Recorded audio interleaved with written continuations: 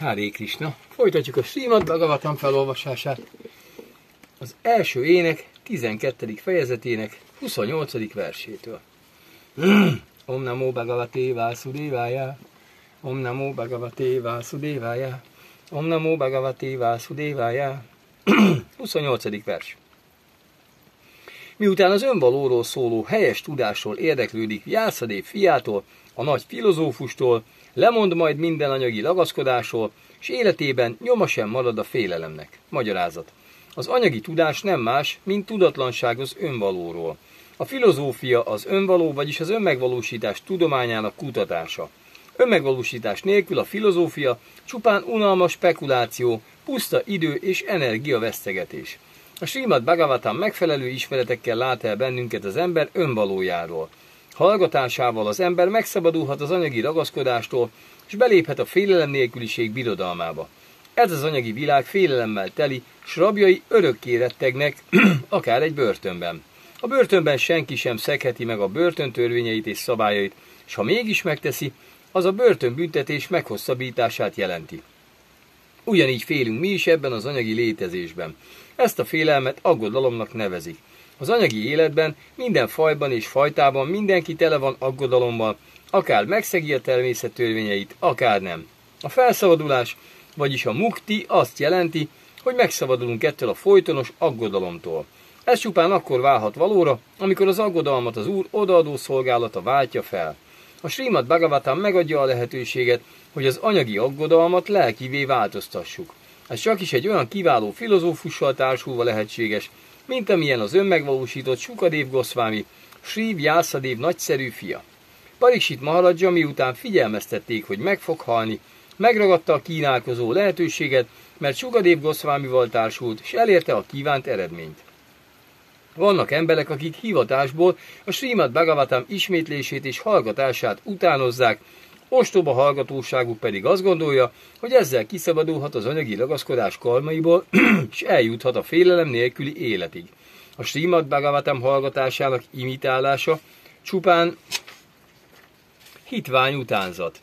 Az embert nem szabad, hogy félrevezessék a Bhagavatam szabhát, szabtaha előadásai, amely nevetséges, kapzsi emberek színjátéka, anyagi élvezetük biztosítása érdekében. 29. vers. Így beszéltek Judistír Maharadzsának a gyermek jövőjéről azok, akik jártasak az asztrológia tudományában és a születési ceremónia végzésében. Azután, miután bőkezően megjutalmazták őket, mindannyian hazatértek. Magyarázat. A védák jelentik mind az anyagi, mind a lelki tudás tárházát, eme tudás célja az önmegvalósítás tökéletessége. Más szóval a védák minden szempontból vezérfonalként szolgálnak a civilizált ember számára. Mivel az emberi élet lehetőséget ad arra, hogy megszabaduljunk minden anyagi nyomorúságtól, a védák tudománya megfelelő irányadás nyújt mind az anyagi szükségletek, mind a lelki felszabadulás terén. Az emberek intelligens rétegét, akik a védák tudományának kötelezték el magukat, vipráknak nevezték, a védikus tudás szakembereinek. A védákban a tudomány számtalan ágát találhatjuk meg, melyek közül az asztrológia és a patológia a közemberek számára is két fontos tudományág. A kiváló értelmű emberek tehát, akiket általában brámanaként ismernek, a védikus tudás különféle ágainak mindegyikét elsajátították, hogy irányíthassák a társadalmat. Ezek az intelligens emberek, a viprák, még a hadászati tudományt, a Dane, Danúr Védát is elsajátították, és a tudása területének oktatóivá is váltak, mint például Drónácsárja, Kripácsárja és mások. Ebben a versben a vipra szó nagyon lényeges. A brámanák és a viprák között van egy kevés különbség. A viprák azok, akik a karmakandában, vagyis a gyümölcsöző cselekedetekben jártasak, és az élet anyagi szükségleteinek megteremtése felé vezetik a társadalmat, míg a brámanák a transzcendencia lelki tudományának alapos ismerősei, ö, ismerői. Bocsánat. A tudásnak ezt a területét Gyána kandának nevezik. E fölött áll az Upasán, Upasana Kanda, melynek tetőpontja az Úr Visnu odaadó szolgálata. Amikor a brámanák elérik a tökéletességet, akkor vaisnaváknak nevezik őket. Minden imádat közül Visnu imádata a legmagasabb rendű. A legkiválóbb brámanák, a vaisnavák, akik az úr transzcendentális szerető szolgálatát végzik. Így a Srimad Bhagavatam, amely az odaadó szolgálat tudománya, nagyon kedves a vaisnaváknak.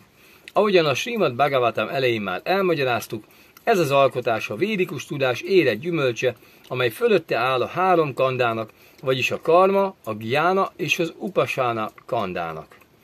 A karma kanda ismerői között a Jatakában jártas viprák kiváló asztrológusok voltak, akik pusztán az idő asztrális számításai, lagna, alapján meg tudták mondani egy újszülött gyermek jövőjét.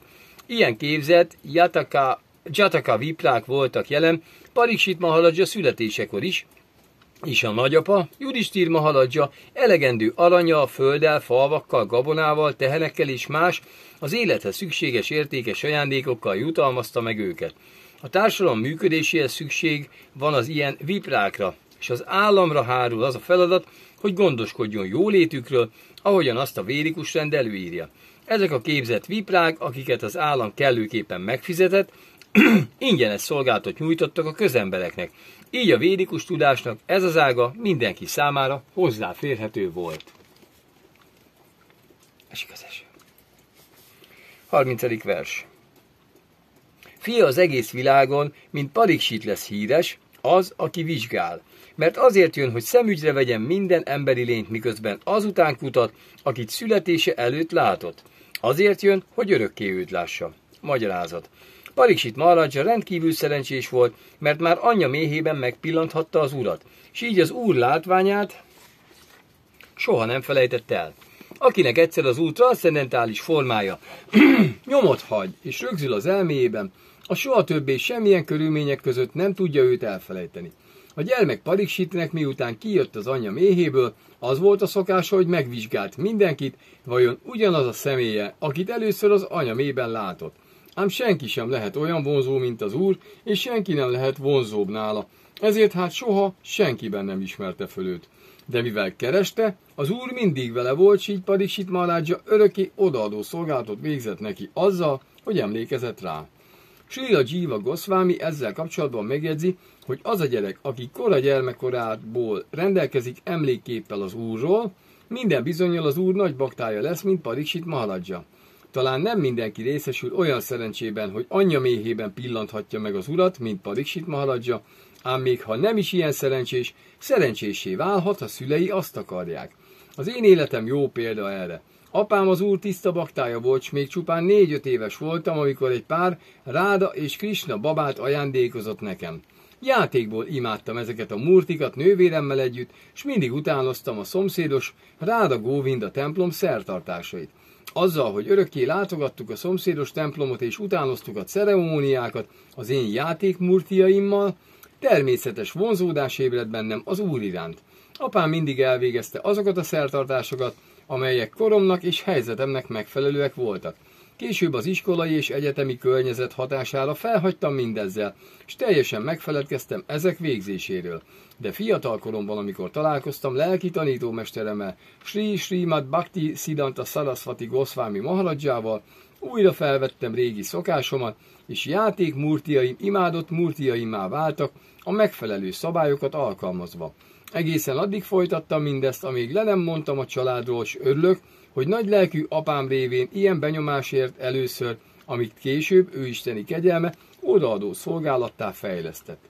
Pralád Maharadja szintén azt tanácsolja, hogy Istennel való kapcsolatunk első benyomásait egészen a gyermekkor kezdetén kell megszerezni, másképpen az ember elveszítheti az emberi életforma adta lehetőségeket, amely bár épp úgy ideiglenes, mint minden más létforma, mégis rendkívül értékes. 31. vers. Ahogyan a hold növekszik napról napra a telőhold két hetében, épp olyan gyorsan gyalapodott a herceg, Padiksit, gyámolító nagyatyái gondoskodását élvezve, minden segítségüket megkapva. 32. vers. Ebben az időben Judistír király egy lóáldozat végrehajtásán gondolkodott, hogy megszabaduljon azoktól a bűnöktől, amelyek a rokonaival vívott harc miatt zúdultak rá. Ám szeretett volna valami vagyonra szerteni, hiszen az adókon és a büntetéseken kívül nem volt egyéb tartalék pénzforrása. Magyarázat. Ahogyan a brámanáknak és a vipráknak joga volt ahhoz, hogy az állam támogassa őket, az állam vezetőjének is joga volt ahhoz, hogy adókat és büntetéseket szedjen az állampolgároktól. A kuruksetrai csata után az államkincstár kiürült, és ezért az adókból és bírságokból összegyűlt összegen kívül nem volt más tartalék. Ez a pénz csupán az államköltségvetés számára volt elegendő, és mivel nem volt több vagyona, a király más módon akart pénzhez jutni, hogy elvégezhesse a lóáldozatot. Judistír Mahaladja Bísmadév utasítását követve akarta végrehajtani ezt az áldozatot.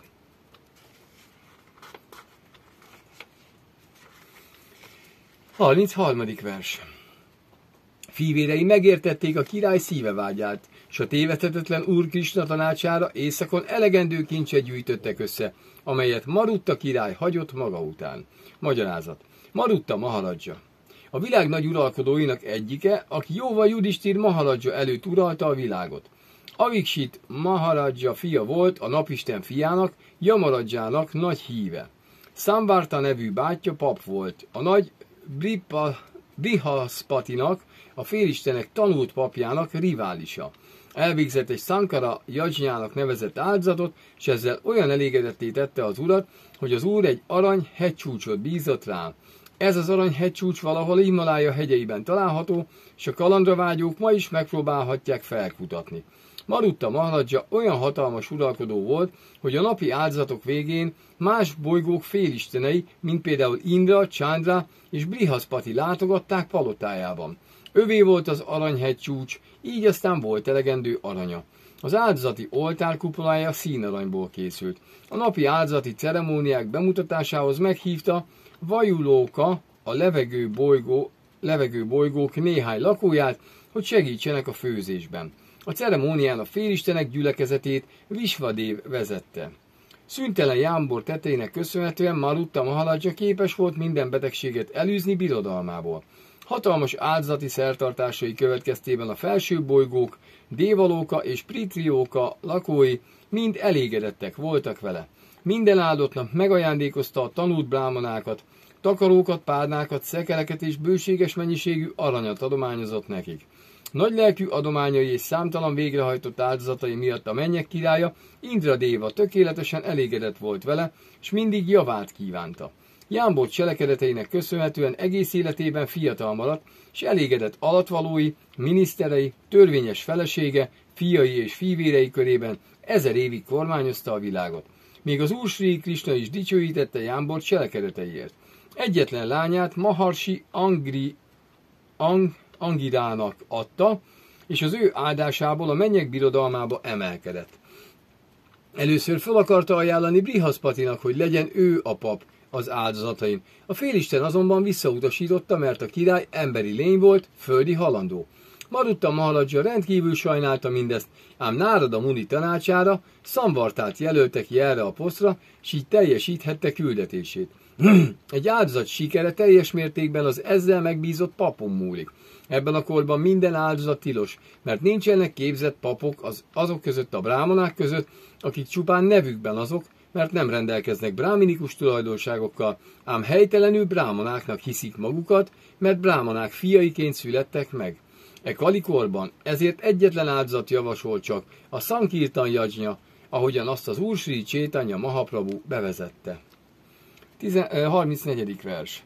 A kincsek segítségével a király előteremthette mindazt, amire a három lóáldozat elvégzéséhez szükség volt. A Jámbor Judistír király, akit a Kuruksetrai csata után rettegést töltött el, elégedetté tette az úrharit, az istenség személyiségét. Magyarázat. Judistír Mahaladja a világ ideális, ünnepelt Jámbor királya volt. A Kuruksetrai csata pusztítása után azonban mégis félelem töltötte el, amiatt, hogy emberek tömegei haltak meg a harcban csupán azért, hogy ő kerüljön a trónra. Ezért magára vállalta a felelősséget mindazért a bűnért, amit a háborúban elkövettek, és hogy a bűnöktől megszabaduljon, három áldozatot akart végrehajtani, amelyekben lovakat ajánlanak fel az oltáron. Egy ilyen áldozat rendkívül költséges. Még Judistír Maharadzsának is arra volt szüksége, hogy begyűjtse az aranyhalmokat, amelyeket Marutta Maharadzsa és azok a brámanák hagytak hátra, akiknek Marutta király aranyat adományozott.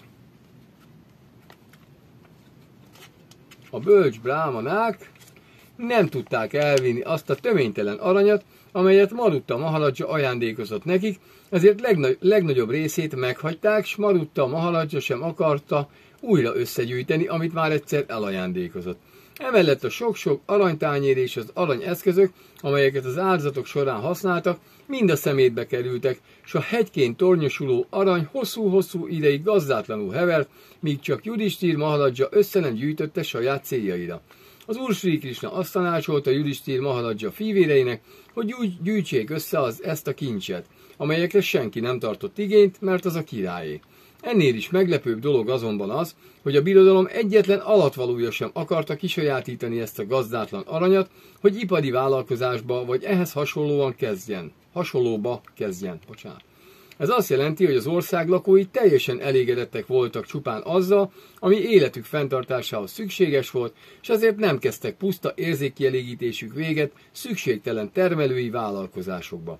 Judistír Maharadja arra használta föl az aranyhegyeket, hogy áldozatokat hajtson végre, valamint hogy elégedetté tegye Harit, az Istenség legfelsőbb személyiségét, és nem arra vágyott, hogy csupán az állam kincstárát gyarapítsa az arany begyűjtésével.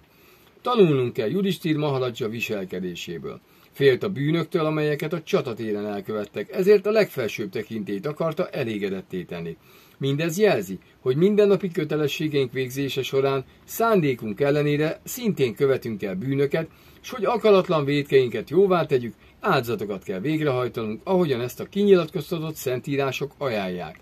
Az Úr azt mondta a Bhagavad Gita-ban, Jajnyart hat karmano nyíatra loko yam karma bandhanach, hogy az embernek végre kell hajtani a szentírások ajánlotta áldozatokat, hogy megszabaduljon minden önkényes tett visszahatásától, sőt a nem szándékosan elkövetett bűnöktől is, amelyekre hajlamosak vagyunk. Ezzel az ember megszabadulhat a bűn minden fajtájától. Azoknak azonban, akik nem így tesznek, hanem önérdekből vagy az érzékkielégítésért fáradoznak, szenvedniük kell az elkövetett bűnök következményeitől. Az áldozatok végrehajtásának legfőbb célja tehát az, hogy elégedetté tegyük az Istenség személyiségét, hadit. Az áldozatok végrehajtásának folyamatai különbözhetnek egymástól az idő, a hely és az áldozatot végző személyek tekintetében, de az áldozatok célja mindig, minden körülmények között egy és ugyanaz, elégedetté tenni a legfelsőbb urat, hadit. Így élhetünk jámbor életet, és így lehet béke és gazdagság az egész világon. Judistír Mahaladja, a világ példás jámbor királya, megtett mindent ennek érdekében. Ha maga Judistír Mahaládzsa bűnös mindennapi kötelességei végrehajtásában, királyként az államügyek irányításában, ahol az állat és emberölés elismert művészet, akkor elképzelhetjük, mennyi bűnt követhetnek el tudatosan vagy akaratlanul a Kali jugában élő műveletlen emberek, akiknek nincs lehetőségük áldozatok bemutatására, annak érdekében, hogy elégedetté tegyék a legfelsőbb urat.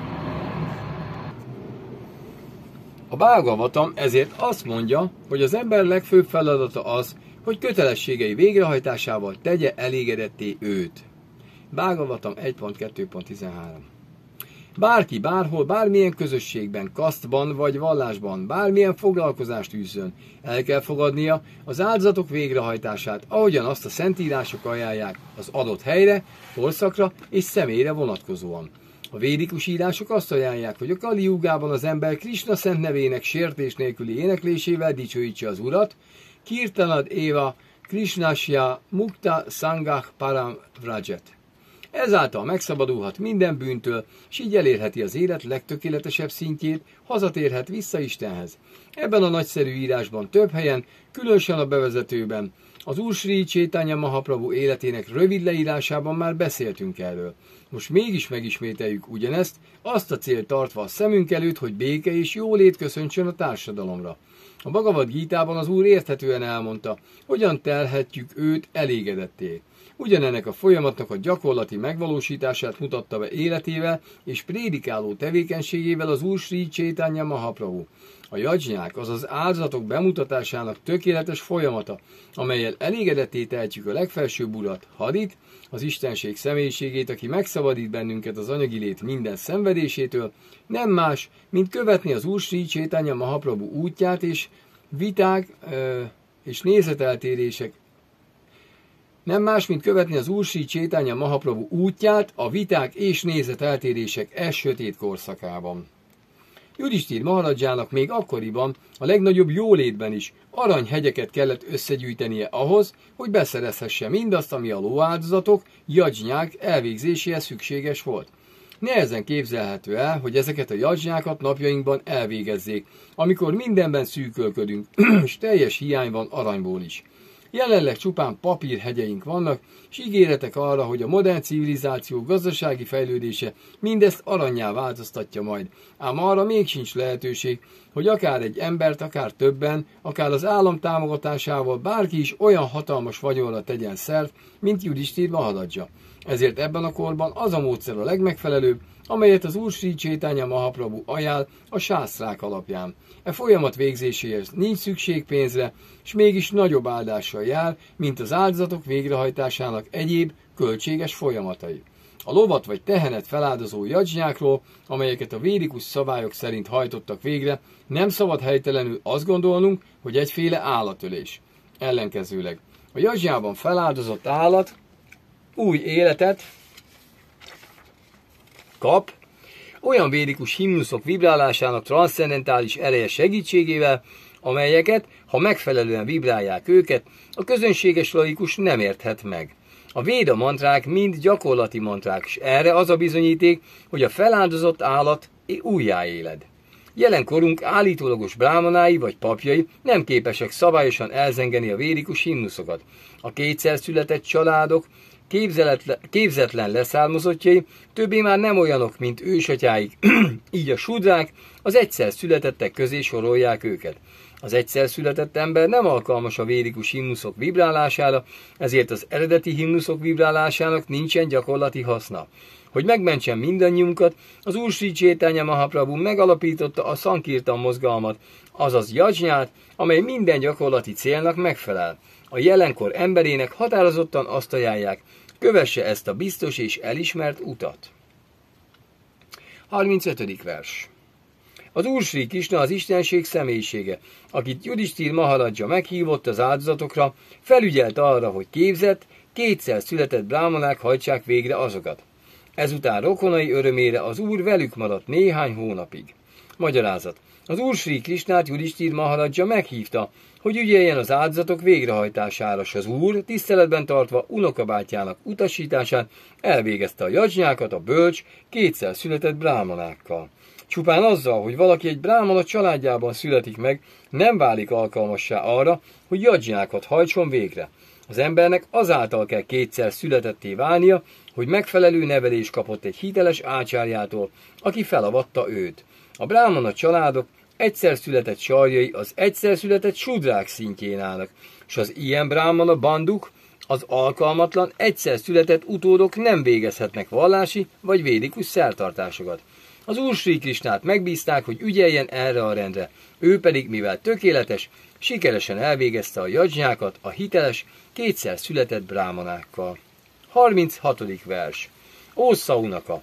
Az úr ezután búcsút vett Julistír királytól, Draupaditól és a többi rokontól, és Dváraka városa felé indult Arjuna és Jadu dinasztia más tagjai kíséretében. Így végződnek a Bhakti Vedanta magyarázatok a Srimad Bhagavatam első énekének 12. fejezetéhez, melynek címe Pariksit király születése.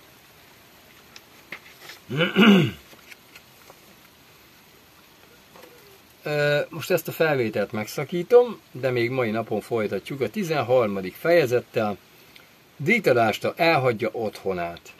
Csak úgy mégis, akkor ezt így egyszerűbb lesz. Hogy akkor végigmenjünk a verseken. Jó hosszú fejezet lesz.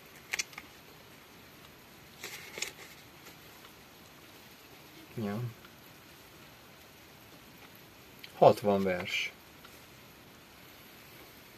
Na. Úgyhogy akkor mindjárt folytatjuk de addig is Srila Prabhupád ki jai, Srimad Bhagavatam ki jai, Jai Tájgóra, Prémanandi, Hari Hari Ból, Góra Bakta Linda ki jai, Hare Krishna.